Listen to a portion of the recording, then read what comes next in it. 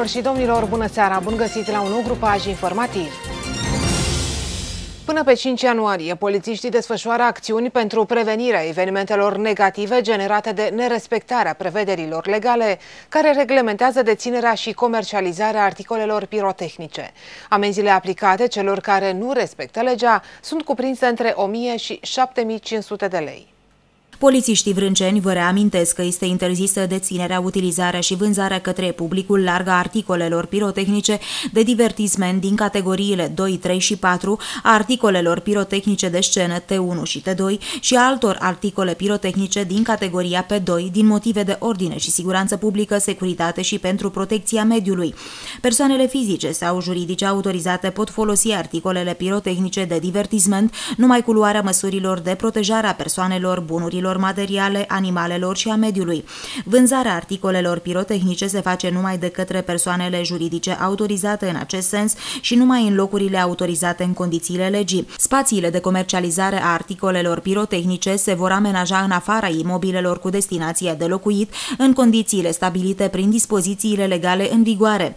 Persoanele fizice sau juridice autorizate pot folosi articole pirotehnice de divertisment numai cu luarea măsurilor de protejare a persoanelor, bunurilor bunurilor materiale, animalelor și a mediului. Se interzice folosirea articolelor pirotehnice în următoarele situații. Între orele 24 și 6, cu excepția perioadelor autorizate, precum și a evenimentelor de interes local, național sau internațional, în baza aprobării autorităților locale.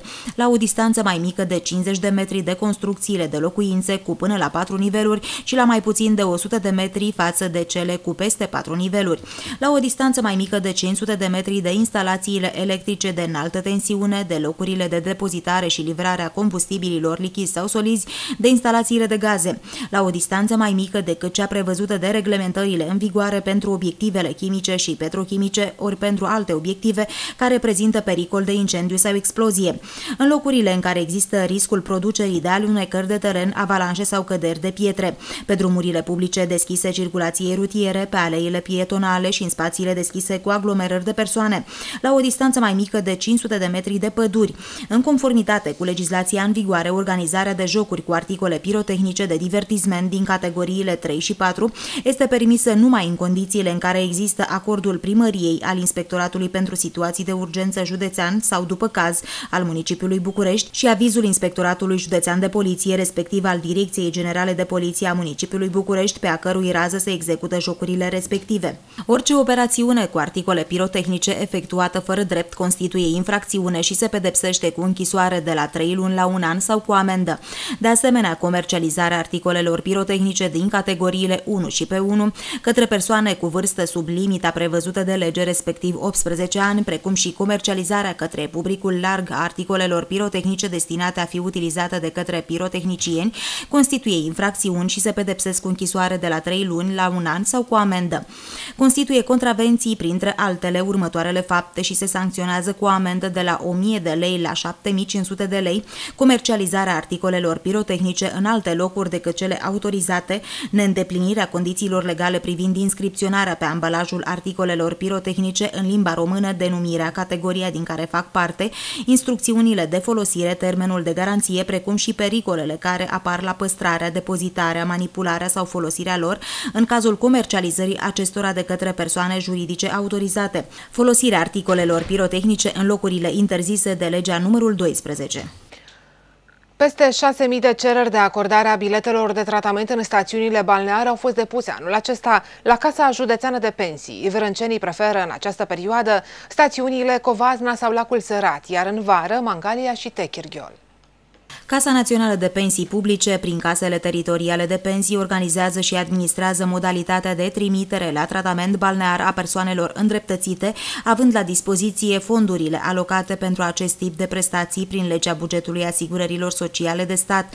În cursul anului 2017 au fost repartizate casei județene de pensii Vrancea 5148 de bilete de tratament balnear. Conform prevederilor legale, pot beneficia de tratament balnear în condițiile legii persoanele care au calitate de pensionar al sistemului public de pensii, asigurat al sistemului public de pensii, beneficiar al prevederilor unor legi speciale care reglementează dreptul la bilete de tratament balnear. În anul 2017 au fost repartizate instituției noastre un număr total de 5148 de bilete de tratament, din care au fost valorificate, adică vândute, un număr de 4188 de bilete de tratament balnear. Durata sejurului unui bilet de tratament balnear este de 16 zile, iar a tra tratamentului balnear este de 12 zile.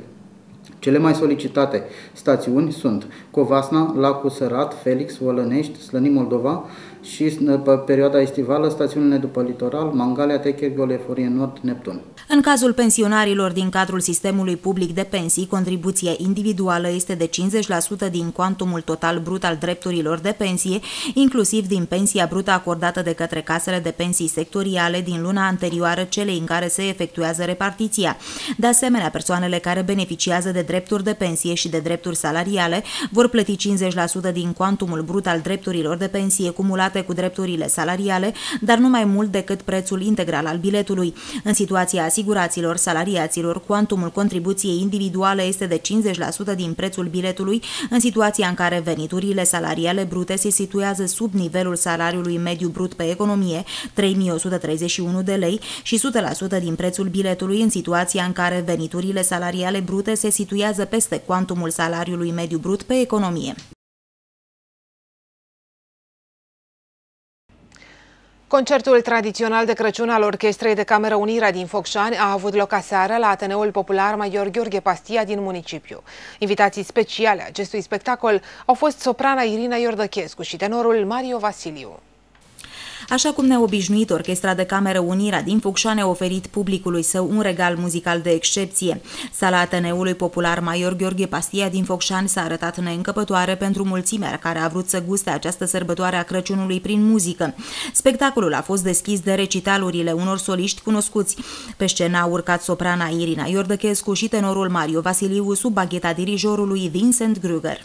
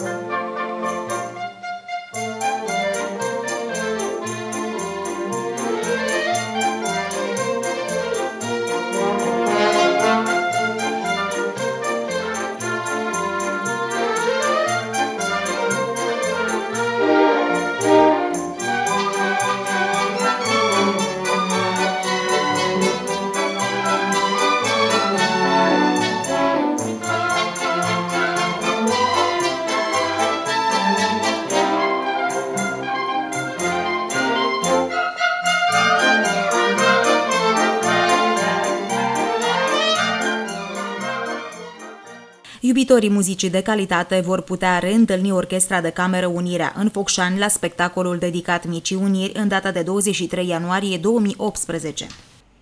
Membrii corului pastoral au susținut un concert de colinde și cântece specifice sărbătorilor de iarnă la Spitalul Județean Sfântul Pantelimon din Focșani. Asistentele și medicii care au luat parte la spectacolul de colinde au avut surpriza de a-l putea asculta și pe managerul unității sanitare interpretând un colind.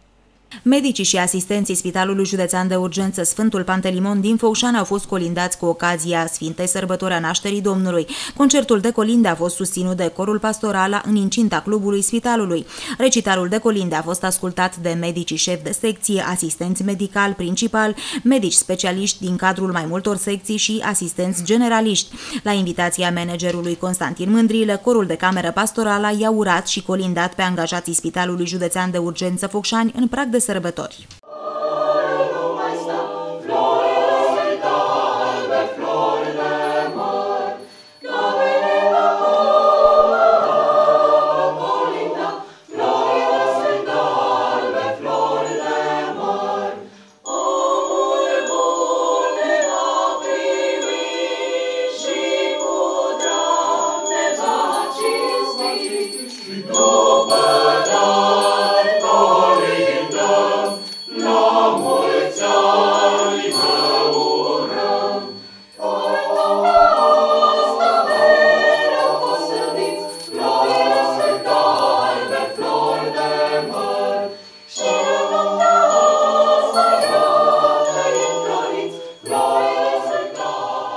Asistentele și medicii care au luat parte la spectacolul de colinde au avut surpriza de a-l putea asculta și pe managerul unității sanitare interpretând un colind. Într-o zi Maria sta singură la casa sa, când odată s-a văzut, toată casa s-a umplut de o lumină lucitoare, ca lumina cea de soare, de o lumină lucitoare, ca lumina cea de soare. Îngerul Iasis Mariei n-avea teamă pace ție, că din cer eu am aflat, că vei naște un împărat. Medicii și asistentele i-au răsplătit cu îndelungi aplauze pe membrii corului care vor reveni cu siguranță și în anii următori să-i colinde în ajun de Crăciun ajunul uh, sărbătorilor uh, nașterii Domnului nostru Isus Hristos. Uh, colegii noștri, colegii mei de la Pastorala, împreună cu domnul profesor Sândulache, au venit de fiecare dată și ne-au încântat cu colinde. Și anul acesta le mulțumim din suflet că a venit alături de noi, în preajma noastră, în mijlocul nostru și le mulțumim că și-au rupt din timpul dumnealor, că și dumnealor au servicii fiecare pe unde sunt și ne vor încânta și anul acesta cu câteva colinde. Vă mulțumim, domnul profesor, că ați venit și anul acesta și uh, să vă dea Dumnezeu sănătate, să aveți putere în continuare și să ne țineți în continuare mulți ani de aici încolo. Între interpreții de la pastorala și persoana mea, odată cu ei, și corpul medical de la spital, sunt niște legături mai vechi, care nu se rup așa ușor avem nevoie unii de alții și de aceea trebuie să ne adresăm puțin și sufletului. Înainte de a începe noi, vreau să vă fac invitația oficială, personală și de grup pentru mâine seară, nu mâine seară, poi mâine seară, miercuri pe 20, vă invit la concertul tradițional de colinde al pastorale, care va fi la Ateneu Popular, am lăsat intrarea liberă pentru că considerăm buchetul de colinde pe care îl vom cânta un dar pentru toată lumea, pentru toți cei care iubesc muzica și pentru toți cei care ne-au sprijinit cu aplauze și cu admirație și cu uh, aprecieri uh, de-a lungul anilor. Este al patrulea an când de Crăciun în sala clubului Spitalului are loc un asemenea concert de sărbători care tinde să devină o tradiție. Corul pastoral a lipsit doar într-unul din cei patru ani. Ferie de Crăciun este titlul spectacolului care va avea loc pe data de 22 decembrie la Teatrul Municipal Major Gheorghe Pastia din Focșani. Pe scenă vor urca 18 copii din Vrancea, mulți dintre ei medaliați la festivaluri de profil care au avut loc în România, dar și peste hotare. Teatrul Municipal Major Gheorghe Pastia din Focșani și Școala Via Music din Focșani vor organiza vineri 22 decembrie de la ora 18 un spectacol de excepție care se va intitula Ferie de Crăciun. Evenimentul care va avea loc la Teatrul Municipal din Focșani va reuni 18 copii din Vrancea, soliști de muzică ușoară, mulți dintre aceștia fiind premiați la concursuri de specialitate în România, dar și în străinătate. Astfel vor urca pe scenă Sofia Ciobanu, Ștefan Smarandache, Mirabela Cârnu, Maira Vrabie, Iulia Novac, Miruna Comănescu, Denisa Haută, Maria Vasilache, Teodora Cioară, Bianca Bâznă, Mihai Bratosin, Mădălina Vasilache, Giulia Andonescu, Amelia Ciobanu, Ștefania Cioară, Ana Maria Istudor, Andreea Aioanei și Delia Ochean. Profesorii coordonatori ai spectacolului vor fi Aurelia și Ioan Vaida. Scandal la finalul partidei de handbal dintre CSM Făgăraș și CSM Focșani, meci câștigat de echipa focșaneană, scor 23 la 21. Handbaliștii au fost la un pas de a se lua la bătaie, după ce în timpul meciului mai mulți s-au îmbrâncit și s-au tras de tricouri decât să joace. Jandarmii și agenții poliției locale Făgăraști au fost nevoiți să intre pe teren și să intervină pentru calmarea spiritelor. Tensiunile dintre jucători acumulate pe parcursul meciului au explodat la finalul partidei în fața a 250 de spectatori, între care și copii. Handbaliștii au fost la un pas de a se lua la bătaie după ce în timpul meciului mai mulți au îmbrâncit și s-au tras de tricouri decât să joace. Paie pe foc au pus și arbitrii. Aceștia nu au reacționat la mai multe faze care ar fi trebuit sancționate. Intervenția forțelor de ordine i-a liniștit pe jucătorii ambelor echipe, care au scăpat fără amenzi, potrivit purtătorului de cuvânt al Inspectoratului Județean al Jandarmeriei Ciprian Alda. CSM Focșani a câștigat partida scor 23 la 21 și a încheiat anul pe locul 10 în Liga Națională.